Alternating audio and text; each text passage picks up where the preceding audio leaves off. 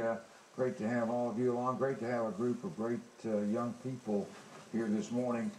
Let's see, Brian Probert. The Probert brothers are in on this deal together. Yes, you're, sir. You're in what grade, Brian? I'm in eighth grade. You're in eighth. Uh, the younger brother ends up as CEO of this company. Would you explain how you won that, that title from your brother? Well, at the beginning, um, before the six weeks started of the competition, we had an election on our officers, which are most of these people here, and I was voted CEO of the team by the, all the students. Very good. Now, uh, I want everybody, starting with the young lady, old girl on the far end, to kind of uh, pass that microphone up there. I want you all to introduce yourselves. And you are? Kaylin Blessney, And Kaylin, what grade are you in? seventh grade. Seventh grade. Enjoyed this experience? Yes, sir. Okay, down the line we go. Next, you are? Hope Watkins, Okay, Hope. Uh, what grade? seventh. Seventh. Then we have, Veronica King, and you're in what grade? Seventh. Seventh. Young man. Jackson Weavers, And eighth. eighth grade. We have another eighth grader here, Mary Morris. Macy Morris. Macy Morris. Reading own writing. Ah, Macy Morris, eighth grader. Now, there is some competition coming up tomorrow at Wallace College. It's not just the competition on Saturday at the Dothan Civic Center, but uh, let's go to the CEO of the company. Brian, tell us what happens at uh, Wallace College tomorrow. Well, for each team, we need to make a marketing presentation on our team and robot, and so that's what we'll be doing tomorrow. We got a few of us here that are going to that, and it's, it's basically like any company presentation of a new product or idea, and we'll just go in front of some judges and do our presentation. Okay, now, speaking of presentation, who is going to, and Geraldine, you start getting ready to get a shot of, uh, uh, come back to the wide shot, Rick, there we go. We have our product down here, because when we say we're gonna play with robots, everybody says, well, where is the robot? Well, the robot is just a minor to me after hearing what all you've already turned in a notebook, and there's a lot of things that you've already done. You got the competition at Wallace College tomorrow. But Saturday, I guess, uh, the, the, everything will be discussed at the Civic Center and the robots will be in place. Now, who is going to be the spokesman for the company that tries to sell me, tell me what this product is all about? Okay, all right, we'll go back to Bradley, who was with us along on Miss Hudson a few minutes ago. Tell me all about your product, Bradley. Well, what the robot is designed to do is to act and imitate like a space elevator. Okay? As you see right here, it's sitting on a stand because the robot doesn't move on the ground, it has to move up a pole. This pole, you can kind of see right here in the back, it's just a cut off version of the actual playing field, and we just made a simple stand for it. So, what the space elevator has to do is transport a habitation module, which is to imitate what the people would stay in as they're in space, and then also has to transport fuel bottles and cargo balls, which is the food and all the supplies they need while they're in space. All right.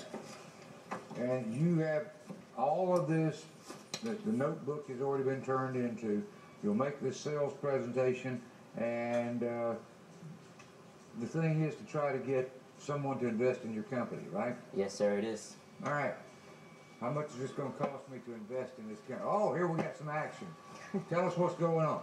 Well, right now, you can see the arm is swinging left to right as it would be on the pole. We're not going to move it up and down the pole because we don't want it to fall off. Right? And the way it moves up and down the pole is by a pulley and a string mounted at the top of the playing field. That way it can pull itself up. It doesn't actually roll on the pole. And then that's the hand is that moves up and down. When you grab certain items, the way they're placed on the playing field, you have to kind of manipulate the hand to be able to place them in that certain spot because the arm either won't turn all the way or it can't go all the way far out enough. All right, now I got to ask you this question. Uh, this is uh, kind of off the sales pitch, but there's not a kit y'all went out and bought this to put this together, is there? No, sir. All they did was give us some plywood, a couple motors, and that's about it. Then you came up with the rest. Yes, sir. The whole team did. The whole team came up with the rest.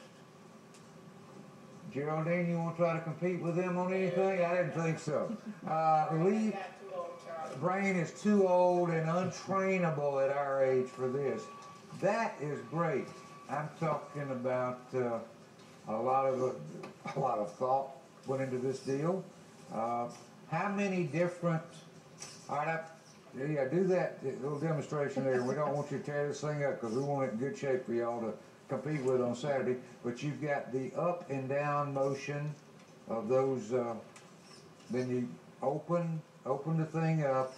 Uh, there we go, and then close it. We'll clamp down on the on the different products that need to be moved. Then you've got the arm that extends out so many inches. How many different functions, I guess is the question I'm looking for, does this this uh, robot do?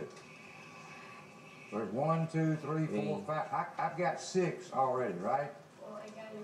And then it also has to move up and down the pole, so that's two more. So that's eight. Yes, sir. Uh, there we go.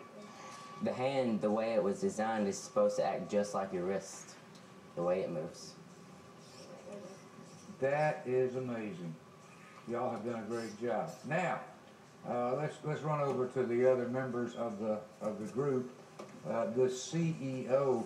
How much is it going to cost me if I if I buy this model and, and I need this for my space program? How much is it going to cost me per unit to buy this? Well, you can make a down payment of about three thousand dollars Huh? In cash too. Oh, of course in cash. Uh, three thousand in cash, and then what? There's several other payments after that, I would imagine so. which I think you'd like to look at on paper. Yes, I would. Uh, but that you've got all this worked out, every aspect uh, from uh, the product, what it does, to how much it will cost, to how much it will cost me to operate. And you make these presentations. Tomorrow will be a big part of it, correct? It's a huge part. Yes, yeah. sir. Now, now go over again what you'll be doing at Wallace College tomorrow. Now, this is not open to the public. This is just No. this is just the 13 teams will be doing this. Uh, we're presenting our robot and our team in front of a group of judges, like on a PowerPoint, Okay. sort of like any company would present a new product or idea. And um, we're also gonna take our. I don't think we're taking our robot there, but we we're gonna take our notebook and scrapbook and show them that as well. So really, probably the first time the judges, whoever they may be, will see these products for the first time on Saturday, correct? Yes, sir. They'll be brought in on Saturday and it'll be like, they'll see the ideas on paper tomorrow. You've already got the notebooks turned in. This is an interest, uh, you know, interesting process. Uh, has it made you, uh, we know what, what it's got your brother thinking about as far as engineering goes. What has it uh, made you think about as far as your future is concerned? I'm I'm sort of looking into the same thing, but I haven't really gone too much into that since I'm only in eighth grade, really, and there's I'm still exploring. But I think four years something before like you get out of high school. You got plenty of time, and so Yes, you've got you've got him that's going to be ahead of you, you know. And if there's something that you find out that he didn't like, or you can always lean on him a little bit for advice, right? Yes, sir. What about the rest of y'all? Is is this caught the interest of any of you as far as uh, plans for your future? You know, we got a lot of seventh and eighth graders here. Is this kind of made you think about what you want to do in the future? Yes, sir. I'm on the marketing team, and I like how we get to design the T-shirts and do the marketing presentation. Very good. And you, young lady, you got something on your mind. It's the same thing that was on Homad. Okay, yeah, marketing. What about you? Well, since this is an all-rounded program, it really helps with basically almost anything in the business or the engineering side. So this has helped with more than two or three um, different careers. which I'm still trying to decide which one I want. Well, you got, you've got plenty of time and just, uh, you know, five years down the line, that might be a whole different marketplace. Uh, young lady on the end, I want her to, to kind of chime in, and what, what has it made you look, look at as far as your education? Marketing, basically. Marketing, we got a lot of, a lot of folks from Wicksburg School will be looking into marketing, and you, young lady, that has had- had the job of holding the microphone, Macy, Uh, well, I'd like to go in something biomedical engineer, something like that, because I'm the vice president of the engineering and manufacturing. So I've I've helped design and uh, manufacture the robot, and it's really made me uh, interested in my possibilities of engineering. I guess. engineering and medical field, right? Yes, sir. She might be the future designer of, what is it, the, the Da Vinci robotics surgery thing. She might be one day, we're looking for her for a loan uh, to pay down the three thousand dollars to buy into the company. We're going to talk more with these uh, young folks. We're actually going to let them demonstrate the robot one more time. Talk about the number of pieces involved in it uh, after the break, but